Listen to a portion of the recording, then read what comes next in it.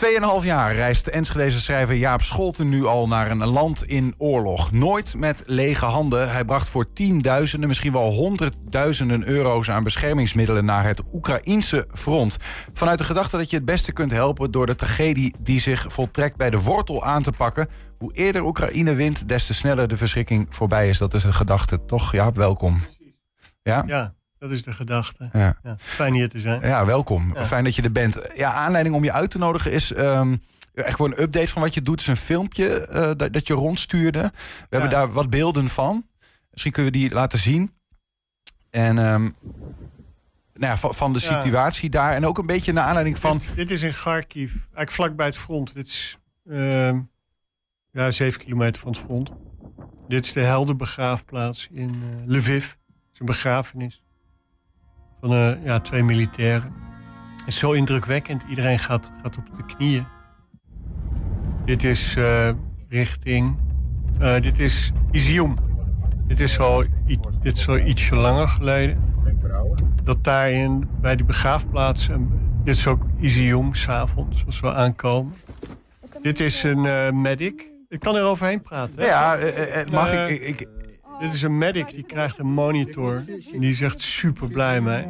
Dan kan ze de hartslag en de bloeddruk en zo van zwaar gewonde militairen zien. Dit is, zijn de Marines. Die hebben net uh, kogelvrije vesten van ons gekregen. 100 stuk. We zijn daar uh, heel blij mee. En die breng je daar gewoon één op één zelf naartoe? Ja, dit is ook in uh, Kharkiv. Ja. Dit is een medic. Die, die legt uit dat die die kogelvrije vesten, die verliezen ze echt heel veel. Al 50 per week. Omdat als iemand zwaar gewond is, dan haal je altijd direct al die zware dingen van hem af. Om hem af te voeren. En daardoor verliezen ze ontzettend veel. Dus die breng je veel, dat soort kogelvrije vesten? Ja, ja. En, en helmen. Ja. Um, er is ook een, een item gemaakt door, uh, door één vandaag. En daarin zien we ook dat uh, die Oekraïners zelf zeggen van nou ja, de Russen hè, die winnen nu langzaam wat terrein. De moraal staat daardoor soms wat uh, misschien wel onder druk. Maar dat ze zeggen door dit soort initiatieven. die kunnen we eigenlijk, hè, voor bijvoorbeeld dat van jou en, en je companen wat dat betreft daar. De, dat kan de Oekraïnse overheid nooit allemaal zelf doen. Dus al die hulp helpt enorm om de moraal hoog te houden. Ja, nou, ze, ze vinden het fantastisch dat je daar komt. Mm Ze zeggen, ze zijn echt altijd heel blij dat, dat, dat we er zijn. Dus dat, dat is één ding. Dus dat helpt heel erg die moraal. Dat gewoon ja, Nederlanders daar helemaal naartoe komen en spullen brengen. Dat, vind, dat is echt heel goed. Maar wat, wat je hebt, het, uh, ze kunnen het gewoon niet georganiseerd krijgen om, om al hun spullen de hele tijd te hebben. Dus eigenlijk al die vrijwilligers die er zijn, dus wij zijn een van de honderden dat is echt heel nodig. Die, het, het lukt het leger niet om te bevoorraden zo snel. Dus, en het is ook zo dat eigenlijk die soldaten die krijgen vaak een Kalashnikov. En eigenlijk alle andere spullen moeten ze regelen. Mhm. Ik ben echt heel veel. Wij krijgen dan meestal een bedankvideootje als we iets gegeven hebben aan soldaten. Maar heel vaak zie je dat ze geen helmen op hebben, geen kogelvrij vest. Die keels moeten gewoon ja, in het naar front. voren. Ongelooflijk, ja. ja. Ja, Jij, je bent nu, nu hier, hè? je hebt eh, ook een woning in, uh, in Enschede. Ja. Uh, maar voornamelijk woon je ook in Hongarije, iets dichter bij Oekraïne. Hè? Ja, een paar uur rijden van de grens. Ja. Daar ben ik ook eigenlijk heel vroeg in de oorlog al betrokken geraakt. Eigenlijk dag twee. Ja. omdat ik vluchtelingen ging halen. En... Was logisch, gewoon meteen, hier moet ik iets mee doen. Ja, eigenlijk, ik, ik was de hele tijd, ik volgde het heel erg. Ik weet niet hoe dat kwam. Ik volgde heel erg wat daar gebeurde. En toen op de, de dag na de invasie werd ik gebeld door een nichtje die met een Oekraïner is getrouwd. En die zei, Jaap, kan je helpen? Zijn familieleden komen nu uit Kiev naar de grens gereden. En die, die moeten ergens heen. Ja. Ik zei, nou, die kunnen bij ons komen. Ja. Dus toen ben ik naar de grens gegaan. Maar dat duurde uiteindelijk vier dagen voordat ze de grens overkwamen. En toen kwam ik al in contact met heel veel Oekraïners. En toen zag ik ja, wat zo'n vluchtelingenstroom hoe. Ik had het nooit van dichtbij gezien en dat greep me enorm aan. Uh, je hebt vrij snel ook de uh, keuze gemaakt om uh, Protect Ukraine op te richten. waarmee je die spullen naar Oekraïne brengt, waarmee ze zichzelf kunnen verdedigen. Ja, ik zag bij de grens daar een meisje, hartstikke jong, 28 of zo. Die kwam s'avonds aangereden in een roestige, met een roestige bestelbus. En die ging die deed de deuren open en die ging dekens uitdelen. Die legde ze letterlijk over de schouders van die vluchtelingen. En het was een hopeloze situatie. Wanhoop, iedereen wanhoopte daar. En dat meisje alleen deed gewoon de hele atmosfeer omslaan op die grenspost. Ik dacht, als zo'n meisje, die is niet eens 30, dat doet.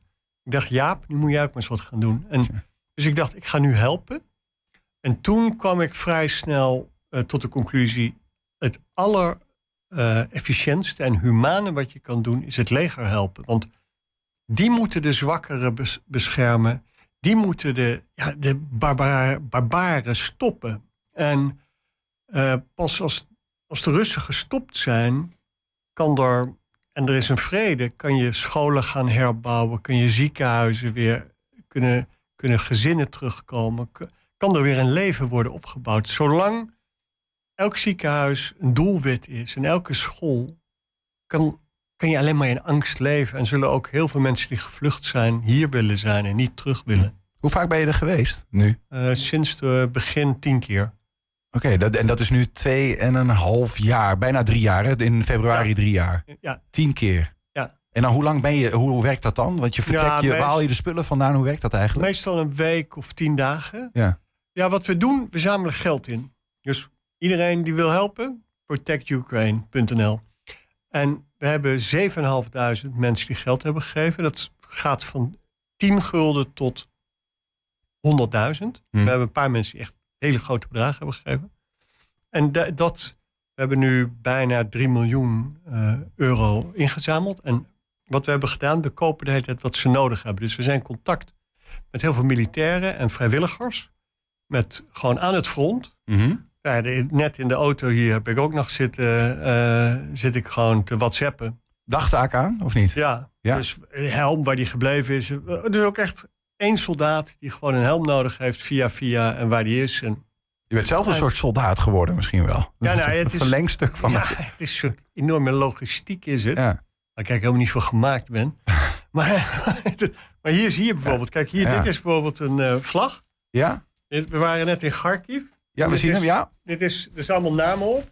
Waar we bij het... Uh, Pathfinder USA, uh, ja. Lizard UK. Uh, we zien hem. Ja, we verder naar voren houden voor de microfoon. Dan kun jij er zelfs nog in praten. Dan zien we jou alleen nou, dit, dit is de, de, Je ziet allemaal namen. Het zijn allemaal internationale namen. Dit is namelijk het Foreign Legion.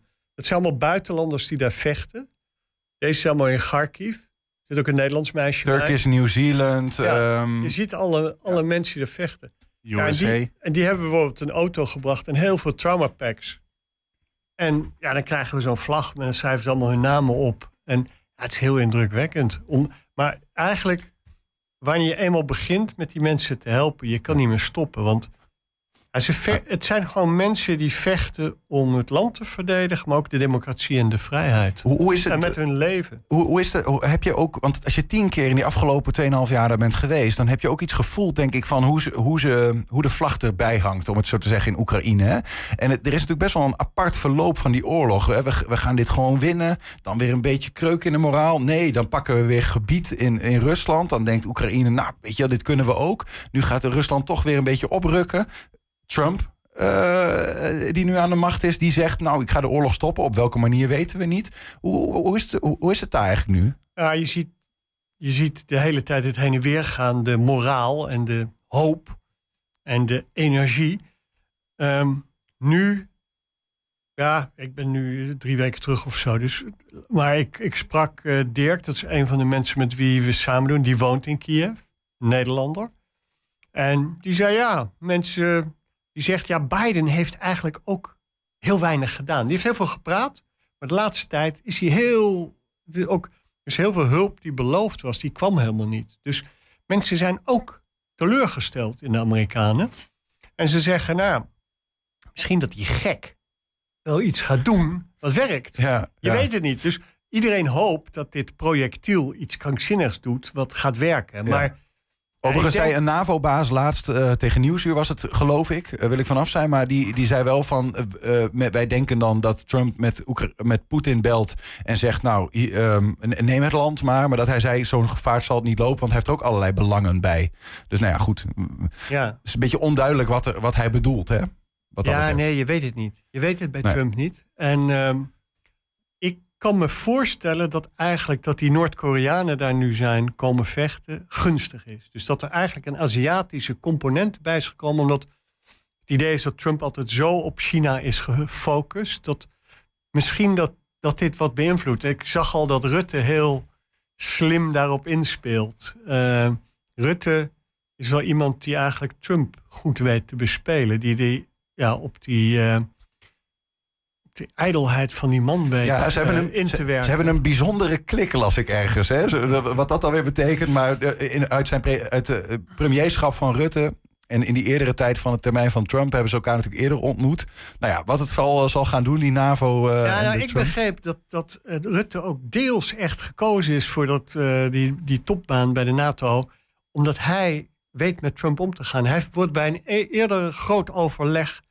Heeft hij gewoon voor al het publiek Trump complimenten gemaakt. Hoe goed hij het aan had gepakt. En hoe doortastend. En, dat is wat Trump, wil horen. Ja, ja, ja, je ziet hem groeien. En ja. Dus ja, ik, ik, uh, en wat ik ook verder van Rutte begrijp, is dat ze, voor hem, en dat komt door M, MH17, dat Oekraïne, dat, dat komt echt uit zijn tenen. Dat is, dat is echt iets wat, waar hij zich echt hard voor maakt. Hij is natuurlijk soms, hebben gezegd, het een beetje te... Ja, hier is hij standvastig. Uh, maar hier is hij echt. dus ik, uh, ik heb hoge verwachtingen van hem. En ja. dan moeten we hopen dat Trump er hard in gaat. Ja, Iets anders, uh, Jaap. Een van jouw uh, goede vrienden is Tommy Wieringa. bekende, Ook een andere bekende Nederlandse ja, schrijver. Uh, boeken bij me, want en Tommy en ik hebben erover geschreven. Ja, Tommy Wieringa met Convoy. Net, net uit. En Jaap Scholten, drie zakken dameskleding. En een sniper. En, dat tussenstukje moet je weg. Okay. Dat is te ingewikkeld. maar goed, jullie zijn allebei Nederlandse schrijvers. En, en hebben, hebben je ehm, onder meer zeg maar in een soort van actiegroep, schrijvers voor Oekraïne. We zien Tommy ook op een foto hier, maar ook op die video net hoorde ik hem even zijn stem voorbij komen. Wat is dat voor club? Ja, we hebben eigenlijk. Het, het, um, het was toen ik met Lisa Weda in, in uh, andere schrijver, schrijfster, geweldige schrijfster, die deels Oekraïens is. Daarmee was ik in Kiev. En we, we waren buiten Kiev, werden we meegenomen naar een kelder waar een heel dorp was. Een maand lang was gegijzeld de 360 mensen van een dorp waren in de kelder gestopt onder de school. Mm. Gruwelijke omstandigheid.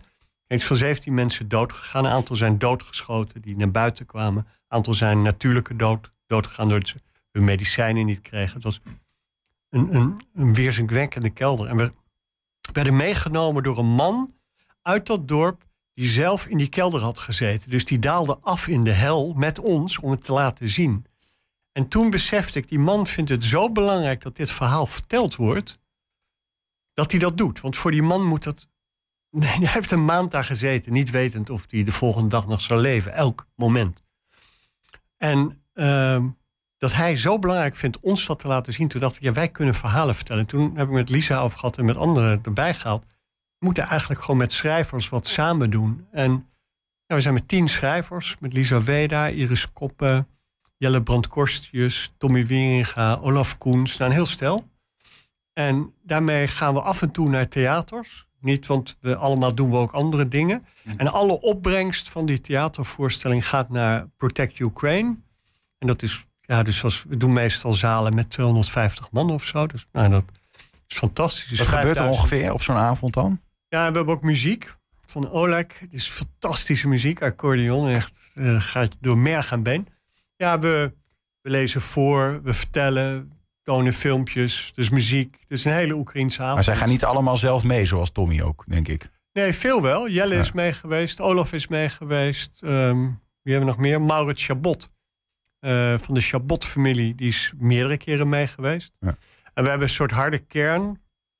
En Maurits hoort er eigenlijk wel bij ook. En uh, met, met, met een aantal schrijvers gaan we vaak want we gaan meestal met een karavaan van iets van tien auto's. En die op verschillende plekken.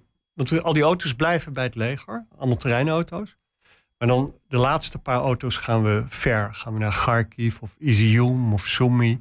Dicht bij het front. En leveren het daar af. En dan, ja, dat is meestal met, met, met een paar schrijvers. En het fantastische is dat die er allemaal over schrijven en over vertellen. En het verhaal, denk ik, van Oekraïne, daar ben ik zo blij hier te zijn moet verteld worden. Want we moeten die mensen helpen. Ze hebben onze hulp echt krankzinnig hard nodig. Rond 24 februari, dat is drie jaar na het begin van die oorlog... dan hopen jullie ergens in Enschede te zijn hè, met zo'n avond uh, ja, zijn we nu bezig te plannen. Ja, klopt. Um, wanneer ga je weer terug?